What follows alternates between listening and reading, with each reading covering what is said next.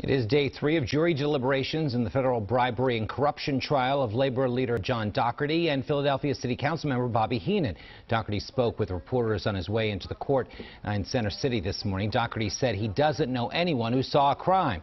This morning, the judge answered a jury request for the definitions of honest services fraud and honest services wire fraud.